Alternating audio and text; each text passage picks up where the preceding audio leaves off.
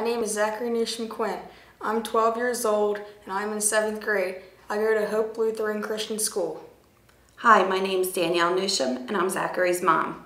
Zaccary's diagnosis is common variable immunodeficiency. Zaccary was diagnosed at the age of six years old. We live in the suburbs of Philadelphia, Pennsylvania.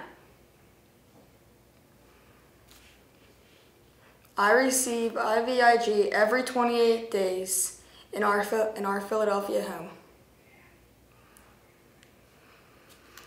Zaccary's had many years of sickness. He started at a very young age with seven sets of tubes in his ears.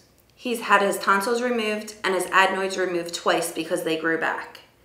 Some other illnesses we've encountered with Zaccary are C. diff, numerous bouts of pneumonia, and the rotavirus. I've been in a private school to reduce risk of infection. Zach's passion is sports, particularly baseball. He plays on numerous travel teams that work around his IVIG schedule.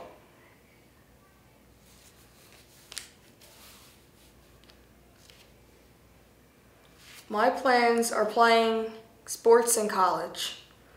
My dream is to play in the MLB, which I am hoping very deeply. At a young age, it was common for Zaccary for us to be in a, a grocery store or any type of store, someone would sneeze, and a day later, Zaccary would end up with pneumonia. Um, other illnesses would be he would start with an ear infection and he would rupture an eardrum 24 hours later. He's had numerous bouts of sinusitis. He does have asthma and also has problems with his stomach. We hope this helps someone in their future with his experiences. We don't let his diagnosis hinder him from doing anything.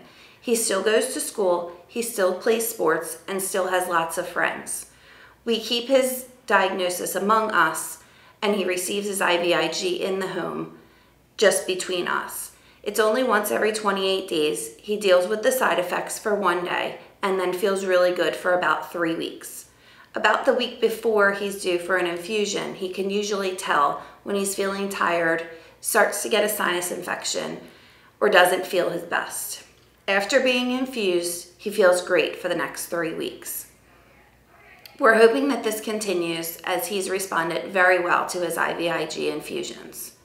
And again, as he says, he plans to go to college, hopefully a four-year college, and be able to play sports like every other young man his age. And his dream someday is to play for the MLB.